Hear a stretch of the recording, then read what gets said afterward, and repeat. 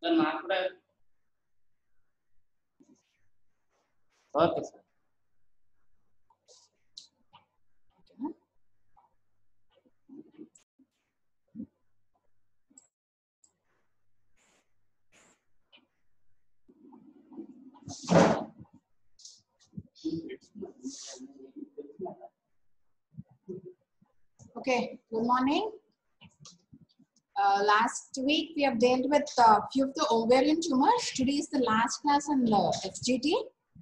So just before going to the uh, today's topic, we'll just have a quick recap of the all the ovarian tumors we have come across. Okay.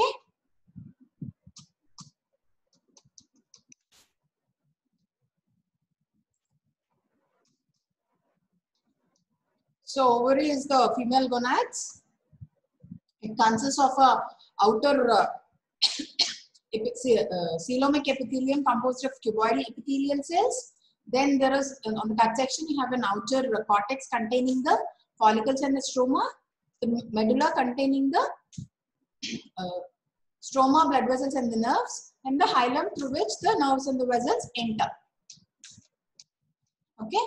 Then you have ovarian tumors are classified depending on their cell of origin. If they arise from the surface cells, they are called as surface epithelial cells.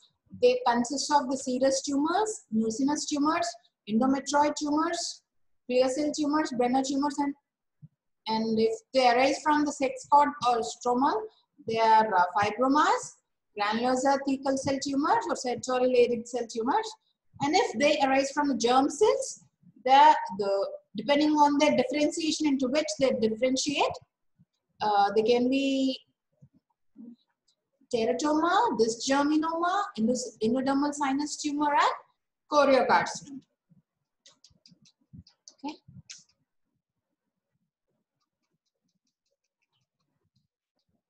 Now we have already dealt with the surface epithelial tum- tumors. Okay, now we'll be talking about the germ cell tumors of the ovary. These comprise a very important aspect of the uh, ovarian tumors. Okay, germ cell tumors, the cell of origin as the name itself suggests are the germ cells. Okay, now histogenesis and interrelationships of tumor of germ cell origin. This germ cell, uh, which due to maybe due to some uh, mutation, if they undergo neoplastic transformation, they give rise to the various germs, uh, germ cell tumors. If this neoplastic transformation is uh, towards the mature tissue, mature somatic tissues, then the teratomas arise. These teratomas are further divided into benign and malignant. In the benign category, we have the mature cystic teratoma and the struma ovary. Okay. In the malignant category, we have the squamous carcinoma, carcinoid, and the thyroid carcinoma.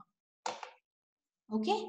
If the germ cell tumor, uh, they uh, get converted into this embryonal type of uh, uh, transformation, they these germ cells undergo malignant, uh, sorry, embryonal type of uh, transformation. Again, if this embryonal germ cell, if they remain undifferentiated, it gives rise to dysgerminoma. And if it is more, a bit more differentiated into primitive cells, it gives rise to embryonal carcinoma. If the transformation is towards extraembryonic, it gives rise to yolk sac carcinoma or sac tumors. Okay.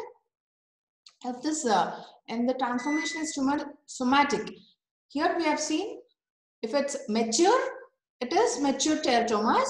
If it is somatic, more immature type, it is immature teratoma. And if the differentiation is uh, towards trophoblastic uh, uh, transformation, it gives rise to choriocarcinoma. Trophoblast has the trophoblastic and that's more towards the placental differentiation. Okay, trophoblasts are cells of uh, placenta.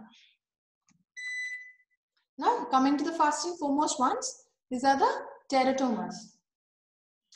Okay, teratoma. Teratomas are tumors that can arise from the all the three germ layers. There is that that is uh, the ectoderm, endoderm or the mesoderm. Okay. they can be further divided into mature or benign, immature or malignant, or monodermal tumors. In this monodermal tumor, you have uh, carcinoid and struma ovary. Okay. Now, coming to the first and foremost component of the teratomas, that is a mature teratoma. It is also called as dermoid because usually derma means skin. Usually uh, the transformation, usually majority of the cases, the teratoma, they give rise to skin and its uh, related appendages. That's why they're called as dermoid. Derma means skin, oid means like. So skin like, okay? skin and its appendages. Mature teratoma, as I've said, it's all, all, also called as dermoid cyst. Dermoid cysts, as they're always, almost always lined by skin-like structures. That's why the name dermoid. And usually they have a cystic component. That's why you call them as dermoid cysts. Okay. The usually unilocular cysts containing hair and sebaceous material. Hair is skin appendage, right? Hair and hair follicles, sebaceous glands. So sebaceous material. So they are unilocular cysts containing the hair and sebaceous material. On cut section, it shows a thin wall, thin, sometimes you rarely thick wall, which is usually lined by skin with hair and tooth-like structures, okay? On microscopy, what do you see? The skin, usually, normally it is lined by stratified squamous epithelium, right? So, on microscopy, you see stratified squamous epithelium with underlying sebaceous glands and hair follicles. Now, there is a structure called as Rokitansky protuberance. There is Rokitansky protuberance. What is this Rokitansky protuberance? The hard, it may be bony or tooth-like hard structure that is present in a teratoma or the dermoid cyst is given the name Rokitansky protuberance. Okay, it's a hard, bony, hard or teeth-like uh, hard substance in the dermoid cyst. Okay. So here we are you're able to see a it's a cut open cystic mass which contains this is all hair. Okay, it's a your okay this is hair with this is the small bony hard this also, okay? This is the Rokitansky protuberance, okay? So, cystic teratoma of the ovary in cut open state showing hair and uh, Rokitansky protuberance, okay? When there is sebaceous material, that be very stinky, it's very smelly, okay? This is the microscopic view. This is a stratified squamous epithelium with underlying hair follicles. These are the hair follicles, okay? and nature the uh, downs uh, here it is all brain tissue okay neuroectodermal tissue so now we are we have dealt with the mature teratoma now comes the immature teratoma this why is it called as uh, immature teratoma because the tissues they resemble mostly the embryonal and the fetal tissues okay so they're more uh, undifferentiated they're more uh, immature. That is why you give the name as immature teratoma. Okay. They're bulky tumors with a smooth external surface and on cut section they're not cystic. They're more solid. Okay.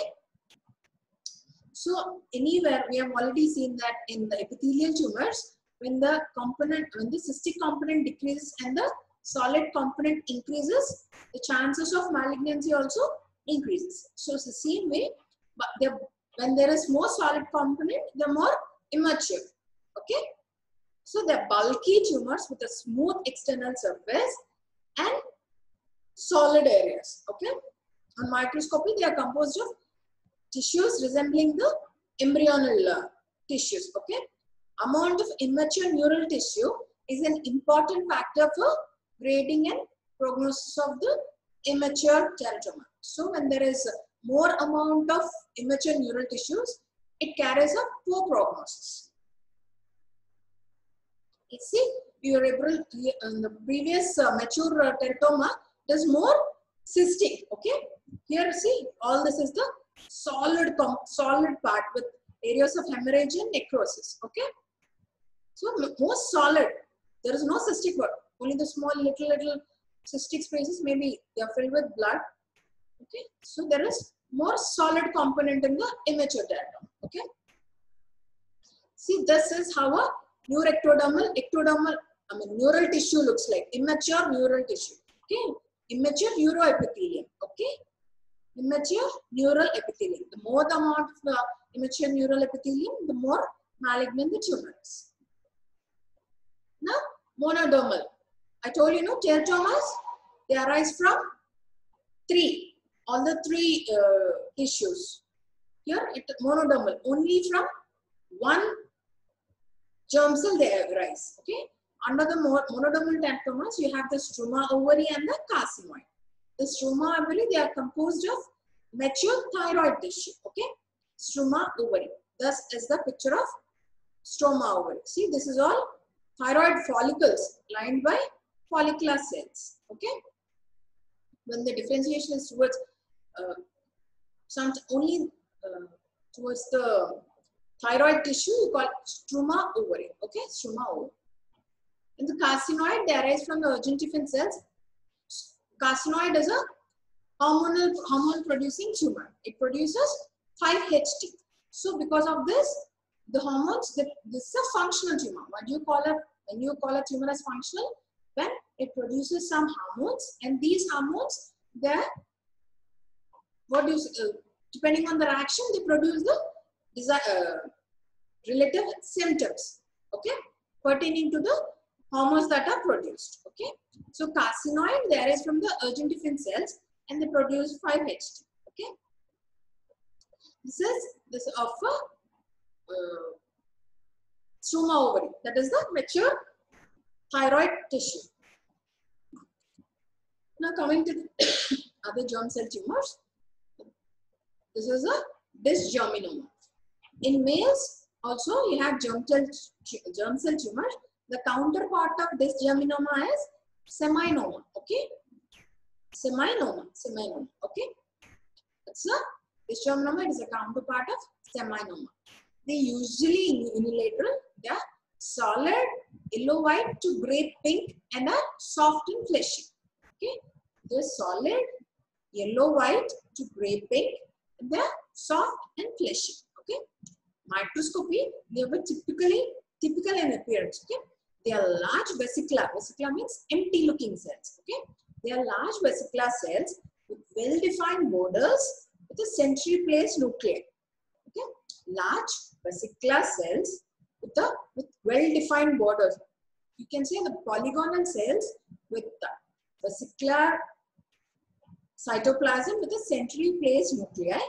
And these are arranged in sheets or cords and they are separated by scanty fibrous stroma. Okay. See, this is how it looks like. Well demarcated uh, tumor. You see, they were typical, you know, that uh, gray, white, yellow, white too. These are yellow areas with gray pink, pinkish color, right? These are all the fibrous septa.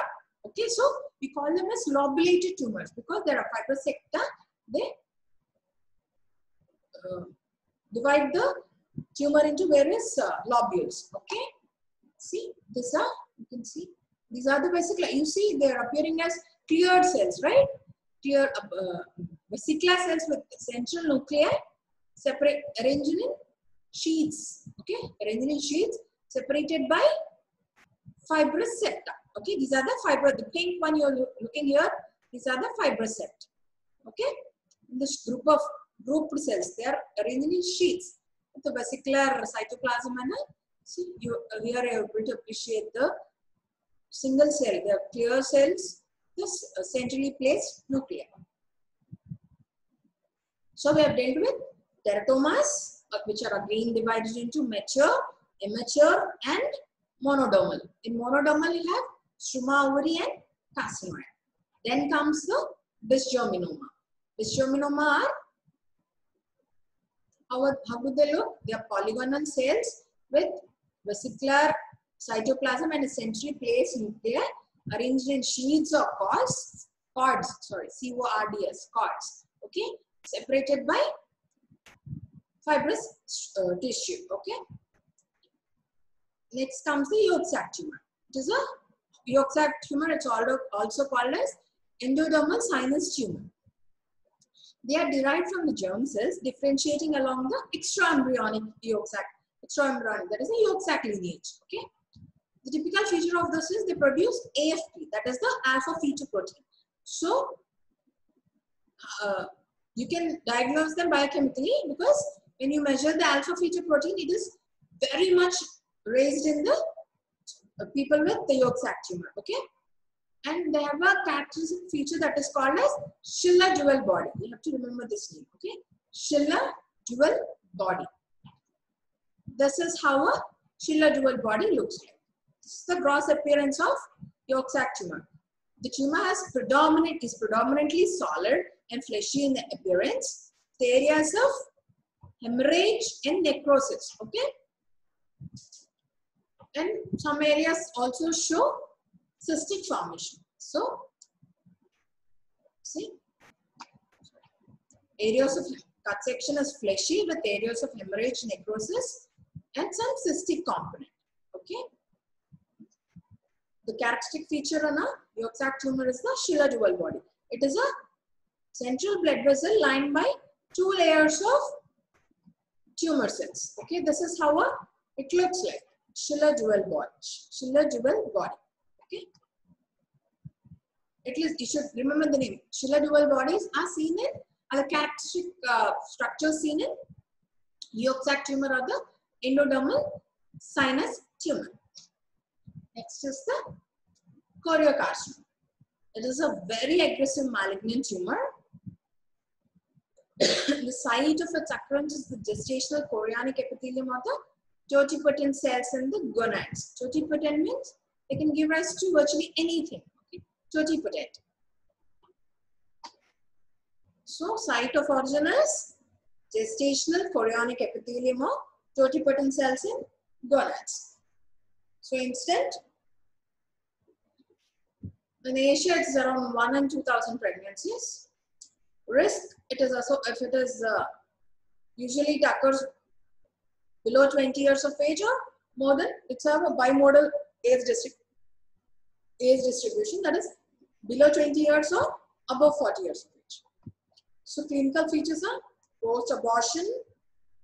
Uh, it usually occurs post-abortion. Uh, it is associated with bloody vaginal discharge and uh, characteristic, it, they produce beta HCG. So beta HCG levels are produced during, normally they are produced during pregnancy. So even after pregnancy, even after abortion, if they're uh, alarmingly, there is rise in the beta HCG, then you have to suspect choriocarcinoma, okay? There are rising titers of exponentially those beta HCG levels are increased. So morphology, they're very hemorrhagic, necrotic, no chorionic villi are seen, and there is anaplastic uh, cyto, cyto and syncytial trophoblast cells are seen. The treatment is chemotherapy with methotrexate. Okay. See, this is how presence of it presents as a bulky hemorrhagic mass invading and it invades the uterine wall. Okay. So here, this is the site syncytial These are the syncytial and these are the cytotrophoblasts. See, normally they don't, they, uh, you can't see any villi in the choriocarcinoma, okay? They are uh, characteristic features of uh, choriocarcinoma is the uh, syncytial trophoblastic cells are seen in sheets and cords, okay? With inter intervening uh, areas of hemorrhage and necrosis, okay? These are the uh, cytotrophoblasts and these are the syncytial trophoblastic cells. Okay? Syncytiotrophoblasts, they are so called because they are multinucleated cells. Now coming to the stromal tumors. The first one among them is the granulosa cell tumor.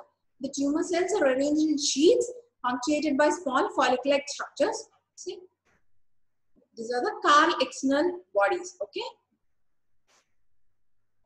All this, these, see, peripheral palisading, see, look like a follicle, okay? A grouped cell, peripheral palisading, and uh, cells are arranged in sheets inside the follicle. These are Call-Exner bodies, okay? There is a immunoreactivity to inhibin. This is the characteristic feature of this granulosa cell tumors. Thecoma or fibroma, they are composed of plump differentiated stromal cells with thecal appearance. See, plump, plump clear cells, okay? Grossly, they are appear as white firm mass and here you attach, usually attached to the fallopian tube because they arise in the ovary, they are attached to the fallopian tube. Okay, see here, see white to yellow color with a and it's a firm mass. Okay, sertoli cell tumor, characteristic. That's a it's a characteristic golden yellow appearance. Okay, these are this look sertoli cells are seen in the testis, right? So they resemble the Sertoli cells of the testis. Okay, Sertoli cells of the tubules. Okay. Now, apart from all of this, I've told you about this Krukenberg tumor. What is this Krukenberg tumor? It is a distinctive bilateral tumor metastatic to the ovaries by transcoelomic spread. Okay, it's usually secondary to a non-ovarian primary. Usually, the primary is seen in the is in the gastric cancer. So it is a distinctive bilateral tumor metastatic to the ovaries by transcoelomic spread. Okay. Grossly, the moderately large, rounded or kidney-shaped firm multinodular masses in both the ovaries with cut sections showing gray white to yellow in color, firm, fleshy tumor with areas of hemorrhage and necrosis. Okay. They're moderately large, rounded or kidney-shaped multinodular masses and they are usually bilateral. Usually they are present in both of the ovaries. Okay.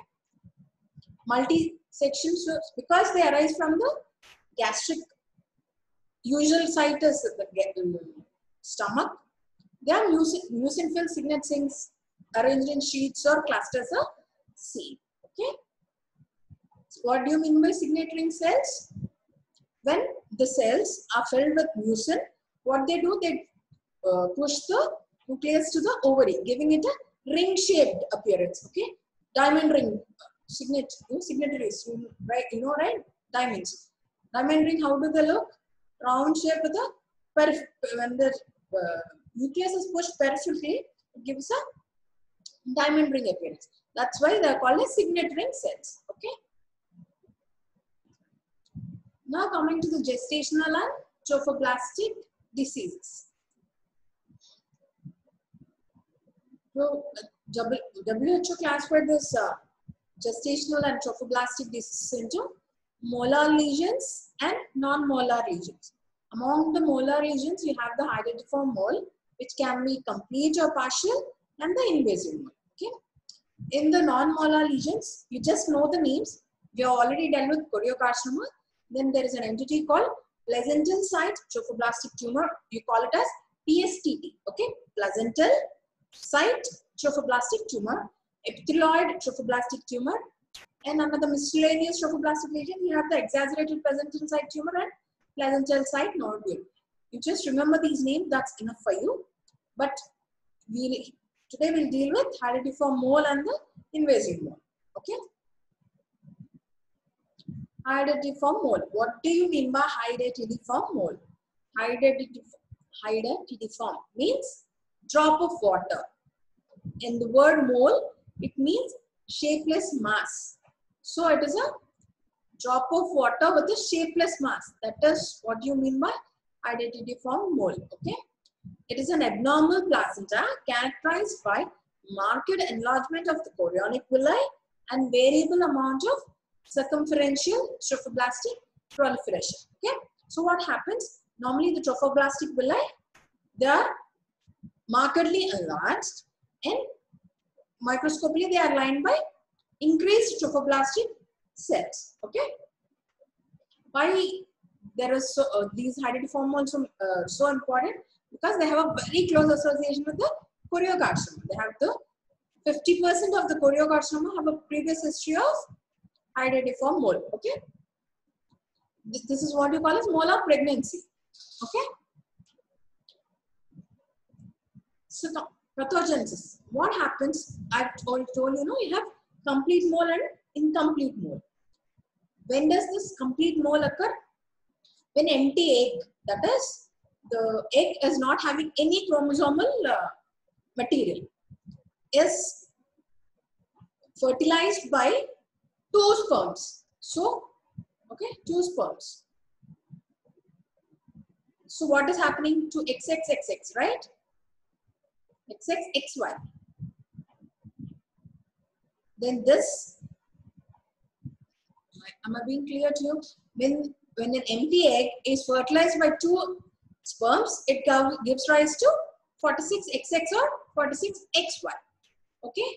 Or when a single sperm fertilizes it and there is duplication of this, then it gives rise to, then also it gives rise to this. Then also it gives rise to this uh, mole. Here what's happening? There is no maternal DNA. Only there is paternal DNA. So only these are all the paternal chromosomes. Okay. So this is called as androgenetic male. Andro means male, right? So androgenetic mole, sorry, not male. Okay. You understood?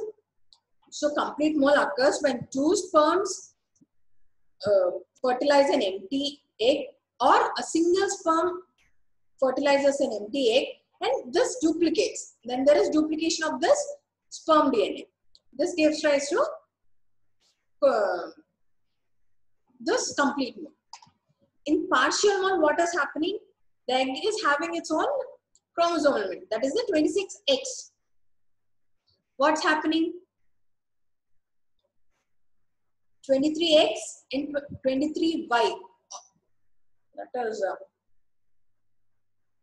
two sperms are fertilizing this egg or there is non-disjunction of the sperm that is 46xy with single sperm with uh, diploid number of chromosomes when they fertilize it it gives rise to this incomplete one or the partial one okay so here the genetic makeup of this is 69 xxy or 69 triplex so it is triploid. Triploid. What is triploid? Haploid means single set. That is 26x or 26y.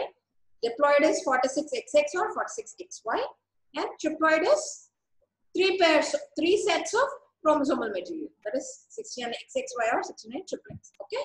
So it is triploid. This partial mole or the incomplete. Okay.